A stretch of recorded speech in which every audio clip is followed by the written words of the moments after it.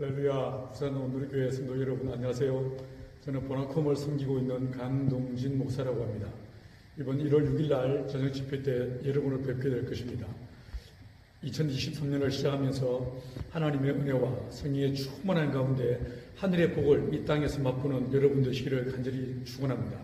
이번 집회를 통해서 주의 성령께서 우리 안에 어떻게 역사하시는지 어떤 은혜를 베푸시는지를 저와 여러분이 함께 나누고 또 그 은혜의 말씀을 통해서 새 힘을 얻는 귀한 시간 되기를 간절히 소망합니다. 감사합니다.